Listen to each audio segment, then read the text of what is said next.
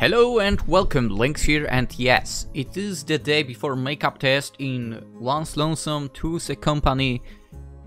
Let's check out if we can help our Kohai pass her math exams. Math actually was sort of my strong point at least. Primary and middle school. High school... Uh, I mean, I did get everything like on the basic level. At the higher level, I know I was very doubtful, so I guess that held me back a bit. But yeah, at university was good as well. Anyway, let's get to it. I think we can do that. You remember what to do after doing this, right? Hmm, you do this and then carry on with the rest of the equation using the formula. Yes, good. You got that down. Trying to study on my own too, you know. Good, because you're gonna need all that information in your head for tomorrow's test. If you pass, I'll bring you to the arcade. How about that? Hibiki's face lights up like a child's on a Christmas day. The arcade! I haven't been there in ages. Then it's a deal? Yeah! For the rest of the night, the ambience around her consists of only rainbows and sunshine after hearing about the outing to the arcade. When do you think you'll get the results back? Ah, the worst part, the teachers being like, uh, you're not the only class I have. Yeah, you're not the only teacher that we have as well. So, nobody ever talked back like that for, unfortunately. Hmm, probably the day after. That's crazy fast, by the way. Okay then, we'll go on the day you get your results back after school. Neat! I'm going to spend all my money at the arcade. Don't do that. Know your limit.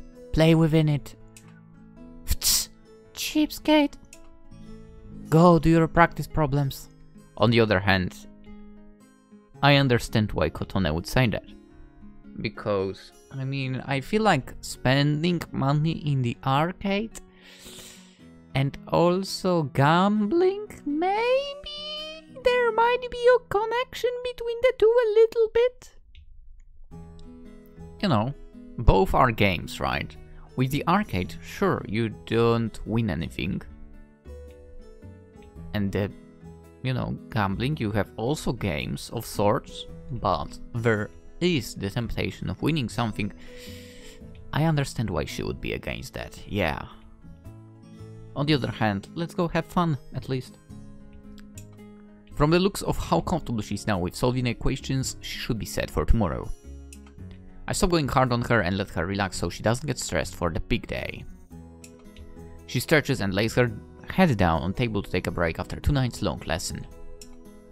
Uh, I'm just going to lay down for a bit. I might fall asleep but promise to wake me up in 15 minutes, okay?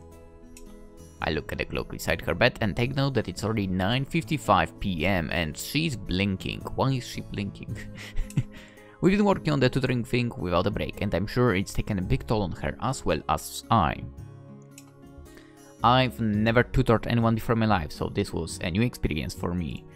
Oh boy. The first time I had to tutor someone was actually math as well, but it was in primary school by the way. The teacher, funnily enough, the teacher was like, you and you, uh, would you mind staying after class and teaching him? That's your job, woman. of course, I did not say that back. Uh, I was like, ah, sure, I don't mind. Actually, I don't mind what was my answer. I don't remember what was uh, my answer exactly. But I did stay, and the guy was like, he did like three, three exercises, I think, and gave up, claiming he will do it at home as well with his sister, blah blah blah. Turned out he, of course, didn't. But well, it was two against one, and two of us said how it was. He was supposed to do it. We were, by the way, three exercises and it took us like an hour. Like, ugh. Crazy. Anyway, I've never tutored anyone before in my life. I read this line already. Sorry about that. Uh, also, I'm like going on a tangent in this episode for some reason. We've been working on the tutoring thing without a break and I'm sure it's taken a big toll on her as well as I. I read this one as well. I've never... How did I go back? It's so weird. I kind of liked it, even if it took a while to get the ideas into her brain. I follow suit and lie my head on the table as well, facing her angelic sleeping face. Soft snores indicate that she's passed out, probably from tonight's last stretch of learning. Oh my god, we get to see what they are learning! Yuri's love, Yuri's life, Saint Vidan, Udon Udon. When can be your... Wait, oh. I actually don't know what's the first word here. Something can be your Yuri dealer, guaranteed quality Yuri, okay. 9x minus 7i. 3, 3x, 7u. Okay, you have to keep that, that's true. Uh, this time this okay, this time this alright. Then we get this, this, it's all out, so know. Okay, E is lower than 3u. Okay, seems like it's actually done correctly. I wonder if that same thing is in her notebook. Seems like no, because I see 69 at the end of it. Anywho, let's get to the text. Soft snores indicate she's passed out, probably from tonight's last stretch of learning. Her hazel grey, hair cascades across her soft marshmallow-like cheeks that Terrason sometimes me to poke and pinch them. I give into temptation and land a gentle poke on the cheek that's exposed to me. As expected, my finger sinks in the skin and the skin bounces back up when I remove my digit. This is more entertaining than I thought it would be. I play with her cheeks for another minute and stop revealing her sleeping face. She's a lot cuter when she doesn't speak. She's a lot cuter when she doesn't speak. Wow! There was never really a chance where I was able to sit and fully see the details of her face. That's true. The only thing I took notice of were her big circular eyes and her slightly big ears. Her eyelashes are kind of on the shorter side, but that doesn't limit her feminine charms. Her thin lips are painted a faint red and rest neatly under her small nose. I begin to imagine what she'd be if she wasn't as cheeky as she is, if she was a princess type, the one that's all polite and full of manners. That was my first impression of her until she finally showed me her true colors. It's nice though seeing the true colors of someone. Well, unless the colors are like, ugh, but still. She might be audacious and cheeky, but I think that's what makes her her. The cheerful and bright atmosphere she gives off lends energy to those around her. Maybe that's what made me stick with her and not find her annoying. It's like she recharges me. Not one minute has been boring in the moments I spent with her. I'll never figure out what kind of spell she pulls in order to do that. Before I end up falling asleep with her, I get and grab the blanket on her bed and place it on top of her. I leave the house without notifying her so as to not disturb her slumber. I'd carry her to the bed, but I'm afraid it might wake her up. Or will it be better for her tomorrow, cause that's not quite a nice sleeping position. I shake my head and leave her be. She looks so too tired to wake up now. Silently, I take my leave and go home. I guess I'll hear from her on Friday. Friday! Friday after school. Her results are out today, supposedly, but I haven't heard anything from her yet. During lunch, says she herself hadn't gotten word yet. I clearly remember her munching away at her lunch without her usual chipper self. It's after school now, and I still haven't received the news yet, despite checking my phone for a message every other minute. I wait outside the doors of the school for her to appear with the what I hope to be a good outcome. Other students hustle into their outdoor shoes and head for home, and others run around doing errands or are heading to their club activities. I take another look at my phone for the time, exactly 3.30 pm. And no sign of Hibiki yet. Damn, you are staying that long on a Friday? That sucks. Maybe she got abducted by aliens. Thinking about it a little more since she's not here yet, she might be on the rooftop. I turn around and walk back inside, but as I step through the door, I bump the girl I'm looking for. Ow! I stare down at her as she recoils against my chest. Ow, ow, ow, ow, ow, sorry. She looks up to find a familiar face and her smile returns. oh, senpai, were you waiting for me? Here? What else? Sorry it took a while because my teacher gave me a long lecture about keeping up my studies and whatnot, but look at this! A piece of paper is then shoved in my face with a red number of 92 on the top right corner. That's nice. That's a good result. Wait, it's out of 100, right? Whoa, a 92? Hmm, wait, you said that like you didn't expect such a high score. Hibiki displays a pouting face and puts her hands on her hips in an insulted manner. Well, kind of based on your previous score, but damn, you worked hard, didn't you? Of course, I couldn't let you down by failing. You spent so much time helping me. It was really only what? Three days. Don't worry about it. I seriously thought you failed and went up to the rooftop to sulk. I would have if I had failed, but I didn't, so now I'm here waiting to go to the arcade. She grabs my arms and drags me out of the doors and down the stairs, urging me to take her to her reward.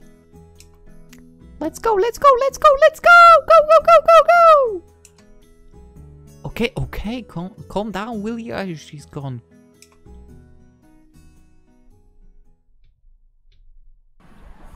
Whoa, oh, I did not expect that sound. Cool. Your game on Beam Station, welcome. I love the fact that they did something like that. I love the fact.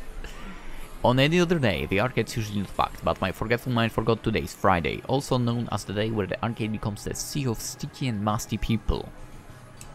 Even though I plead to Hibiki about the crowds, she's insistent on hitting the arcades today. Alright, just don't get lost, okay? Okay. We start at the upper floors and decide to work our way down. The upper floor consists of racing games and those fancy rhythm games which she seems to adore. We managed to find two empty racing seats and plunk down for a race. Have you played this before? I dig up some spare change and put a coin in. I'm watching myself so I don't overspend today. Not that I have much anymore since I stopped getting allowance. Once I believe I was only a child back then. Just have fun, don't worry about finishing the course. You don't have to tell me that. With a menacing grin, she presses on the accelerator pedal and her in-game car speeds past me. I don't give up without putting up a good fight. Both of us bump into sides and walls, but we're all laughs and giggles. At the end, I cross the finish line ahead of her by just a smidgen, and she demands a rematch. Come on, one more, one more. No, no, no, no, no, no. Save your money for other games. There is more to see. Chh. Come on, come on, let's try something different. With the big variety in games here, we spent a good 45 minutes trying out several games. I mainly watch her, which I don't mind, today is for her to enjoy anyway. Correct approach? She's surprisingly good at fighting games, and even caught me by surprise when she somehow won against the person next to us. Beginner's luck or hidden talent? We weave through the shooting games and even DDR next. I myself am having a blast and right when I didn't think I'd read anything at the arcade she does the Purikura booths. I did become stiffer and reluctant. Purikura booths? What's that? I don't know what that is. Go down senpai, please.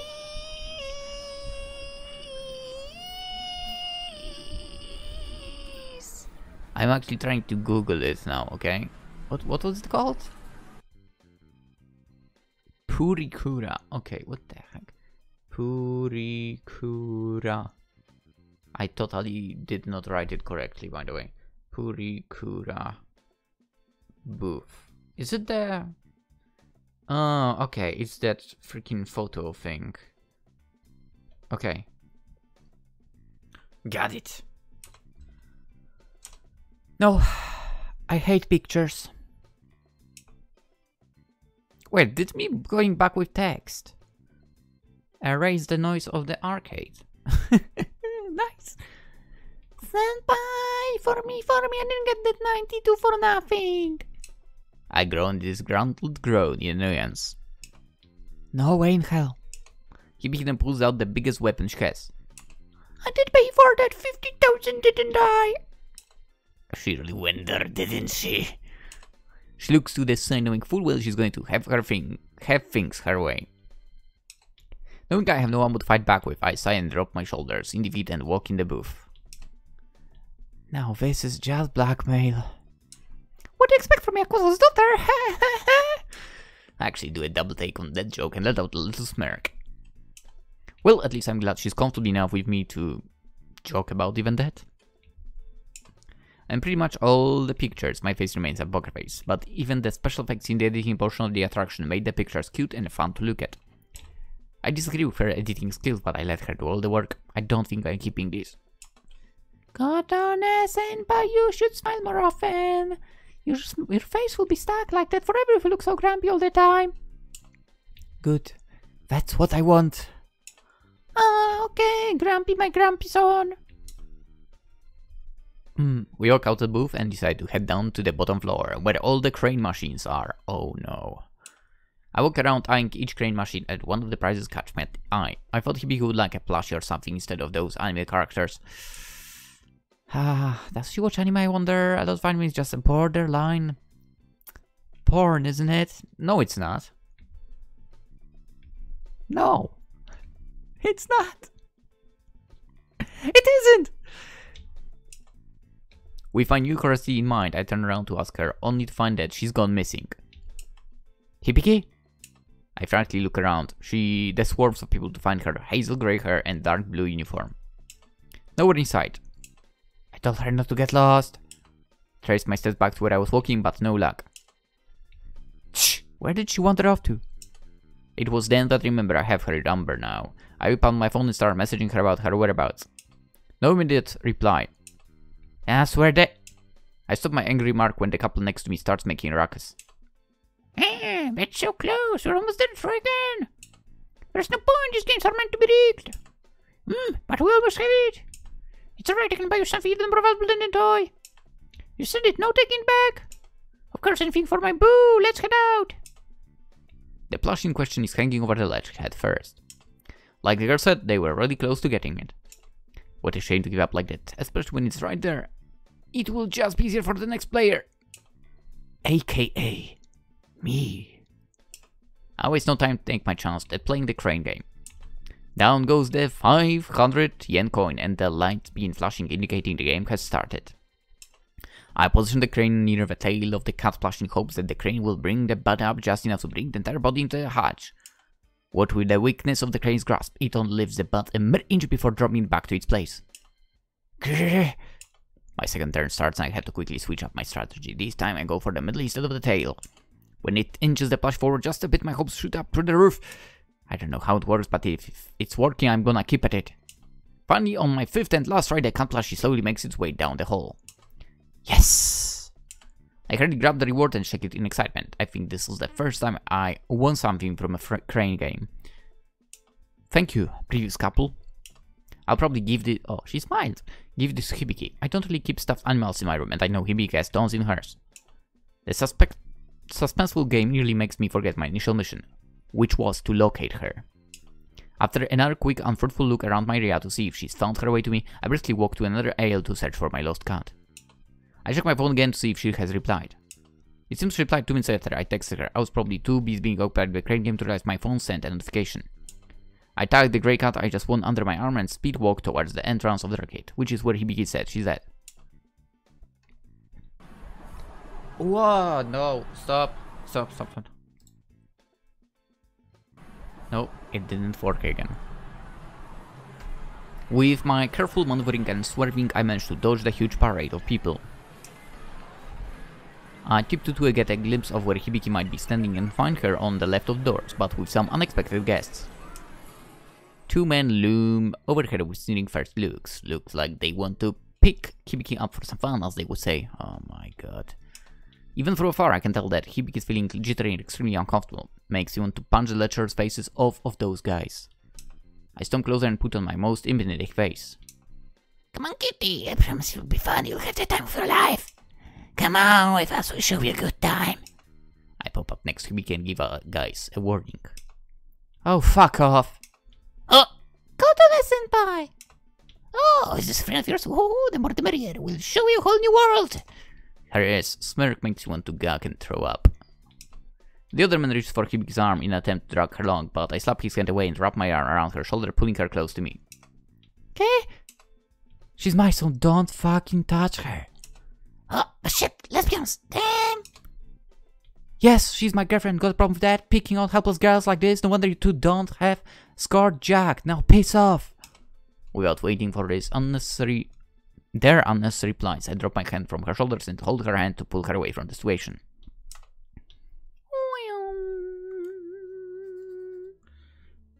Nice. I take her to a less populated area even though I'm not paying much attention to where we are actually headed to. We stop in front of a little empty playground in a park. I take one cautious look behind us to make sure that those dudes haven't been following us. Luckily, they aren't. When my slightly anxious state has calmed down, I realize I'm still holding onto Hibiki's hand and I hastily let go in embarrassment. Sorry, s- sorry. And, uh, sorry about earlier. Uh, that was honestly the only way I could think of to get them away from you. Uh, no, no, it's fine. Uh, thanks for the help. No, no problem. I want to break this ice so badly. Jesus! G- guess I saved you this time, huh? You're right, we're even then. My fingers playing with the tug on the toy out of awkwardness. Awkwardness. I didn't think of the awkwardness that the action would have entailed. I still look at her face and notice that it's kind of really red. Could be that she hasn't been feeling well. She's been working really hard lately. Holy, are you okay? Do you have a fever? I place my palm on her forehead, feel if her temperature is higher than usual. Her squeal scares me into retrace, retracting my hand. Oh no, no, I'm fine. It's nothing. I think just cause we were kind of rushing out of there before. So that's it. There's nothing to worry about then. She probably doesn't get much exercise on the daily, huh? That's good. What's what you caught a fever from working your butt off recently? Hibiki smiles her usual reassuring smile at me. I'm not weak, senpai. I notice then that in the opposite hand of the one I held, she's holding a medium-sized orange cat plushie with a slightly weird look lace on it. Hey, did you win that? Hmm? She also notices just now that she had been holding that this whole time. Oh yeah, I saw this in front of you, so I tried to get it. A grumpy cat, let's go. She points her prize to me and the cat's face really is weird looking. This reminds you of me? Yeah, always so grumpy looking. It... Right, speaking of which, I got this for you, but you already won something for yourself. I show her the cat in my arms and hand it to her. I don't keep stuff animals, so you can have this too if you want. Hibiki shakes her head. No, no, no, no. I think you should keep it. You want it with your own money effort. You totally deserve it. But No buts, just keep it, senpai. There is no hurting having stuffed animal by your pet, right? Uh, it will keep you company when I'm not around. she gives me a big smile in her haughty manner, teasing me. Okay then, I'll keep it so I can pinch its cheeks when I can't pinch yours, right? Right? I reach out and pinch that smile of her face playfully. Oh, goodness, senpai. I'll be glad to keep it if that's the case. Mini. Mini, mini, mini. Hibiki motions closer towards the playground, set and climbs to the top of, to, of the slide. Now that I'm done my makeup test, does that mean you won't be coming over again? She poses a good question. I only ever visited her house because I was her temporary tutor. Without the job, there is no reason for me to come over anymore. Well, even if you're not my tutor anymore, my house is always free for you to come drop by. Sure, if I feel like it, I don't mind bugging you. She positions her body comfortably on the small slide and goes down, albeit slowly due to the friction of her hips and the sides of the tiny slide. Her teal eyes glint in the setting sun when she looks in my direction. Promise? It's not that I don't want to hang out with her, it's fun being around her, and I find it much more calming when it's just the two of us alone without anyone else around. I want to, to be myself and not need a filter. But with entrance exams coming up, I have to focus more on my studies. If I can just study at her house and hope I don't get distracted. I promise. The sun has mostly gone down by now, and only some orange hues remain in the sky, but her smile after seeing the promises shines dazzlingly in the in the dark unlit park. No doubt I physically feel my heart skip a bit. The swirling emotions in my chest malfunctioned my brain, freezing me momentarily. When I snap back to, into life, I turn around to hide my confused and red face, even though the darkness probably didn't show much. I try to think of something else before of the the feelings uh, before the feelings go into overdrive and I lose control over myself. It's dinner time now, isn't it? I can cook you something in my house. Would you like that? I think I have some chicken in the fridge. Uh, uh, maybe we can stop by the spring for some extra, more extra ingredients. Her voice extracts me from my thinking and I lose my ability to speak. Yeah. Hey, I, I'm, I'm, I'm, I'm gonna head home. Being with her any longer right now will just muddle my feelings even more, so I reject her offer and create an excuse to leave. I, I think I gotta head home tonight for something. I'm gonna go first. You know your way back, right? I don't notice, but I look in all directions I'm, speaking and it might have been obvious I was lying. I start bolting for it without even waiting for a response. The sky is now a dark purple and I think of all the possible dangers of leaving Hibiki alone to go home by herself. The thought halts me mid-run and I turn around. Hibiki is still sitting at the bottom of the slide looking stunned. I don't want any more guys trying to pick her up, or her getting into a crisis. Uh, actually, I'll walk you to the station. It's dark now. It'll be safer if there are two of us. Stand by. The walk back mainly consists of silence as both of us are tired. Today was a full day of school and then an after school outing to the arcade. I don't mind the silence, in fact it helps me sort my mind easier. We beat our four wheels at the station as our platforms are on the opposite sides. I get on my train before her and head for home carrying a million thoughts.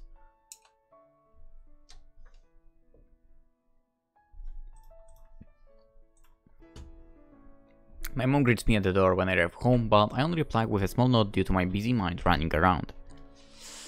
I fall into the embrace of my bed and remember that I have the grey cat plushie in my hand. My third eye is open to examine the stuffy I won today. The cat's face lot cuter than the one he became and I laughed a bit, remembering how she said it reminded her of me. No, it's the the the other one. That its cheeks stand out and I bring myself to pinch it like I did to Hibiki's. I'm not sure how long I've laid on the bed for, but it seems like an eternity as I quietly sort my concerns out. I pinch the grey cat's cheeks again, when I finally come to the conclusion of what my feelings truly are. My feelings towards Hibiki have evolved into something more than what I bargained for. I've never imagined that would ever happen, nor did I know when it started happening, but I know now. I know now. That I might have fallen in love with her!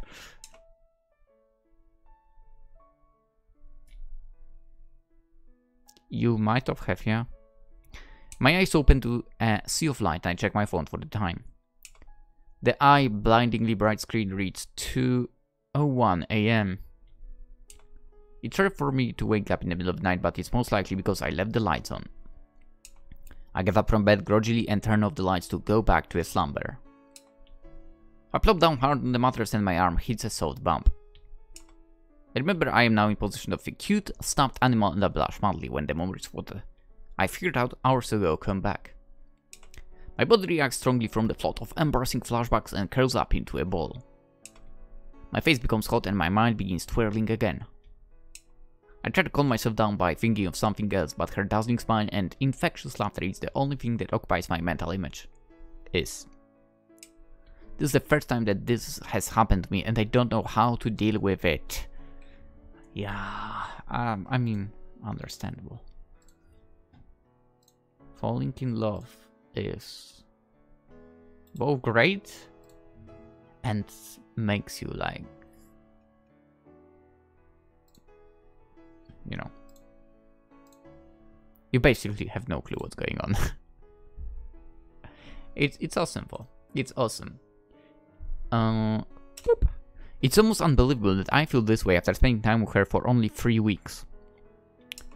Three weeks Am I just a really easy person? that doesn't make sense if this is the first time it's happened Perhaps I'm mistaking these feelings.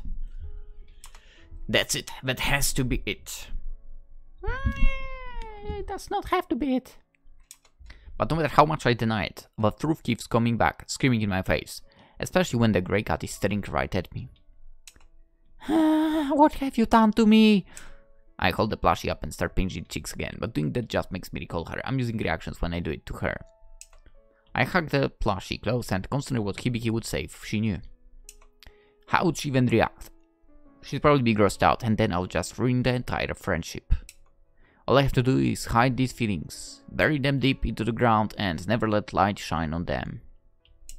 Just go on with life, become busy with entrance exams, and forget about them, right? Things are fine as they are, and I'll keep it that way. Don't. Don't do it. Don't do it to yourself, damn it. Maybe things will mellow out, and it will just turn out that I was wrong this whole time, and things will go back to normal. The midnight dark has my drained energy pulls me back into doze, with my churning brain acting as a lullaby.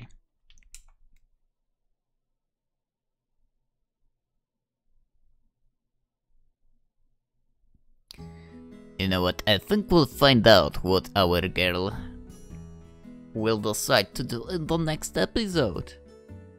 We'll see, we'll see. Yes, let's end it for today. It was neat. Uh, arcade, exam, makeup, successfully completed. So I guess it is now about our exams, the finals, and maybe getting to university eventually. We'll see. I think the next episode will be the last one, by the way. Uh, so, subscribe. That way you will get notification that, you know, new video is out right tomorrow. If you're into this series. Would be super cool. Also consider liking the video if you enjoyed it. Um, did you ever have to had to had to did you ever have to get makeup exams or tests? I mean, I think everyone had to, but I will ask that anyway.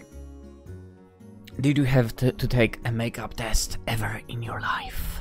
Um, and have you succeeded with it? It's pretty much all. Also, do you have arcades in your country? That's what I'm curious about. Because in Poland I ran into it like a few times only when I was by the sea. Where I am, never, probably. Yeah. Eh, and that's it. Also Twitch, Twitter, Instagram in the description. If you're into the stuff, you'll follow me there. Uh, that's it. Hope you have all a wonderful day and I'll see you tomorrow as well. Bye bye.